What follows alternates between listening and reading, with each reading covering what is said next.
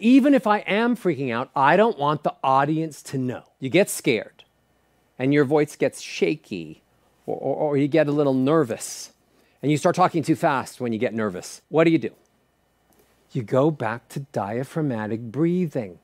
You slow down your breath by forcing yourself to breathe more, pause more, slow your body down, your pacing will naturally slow.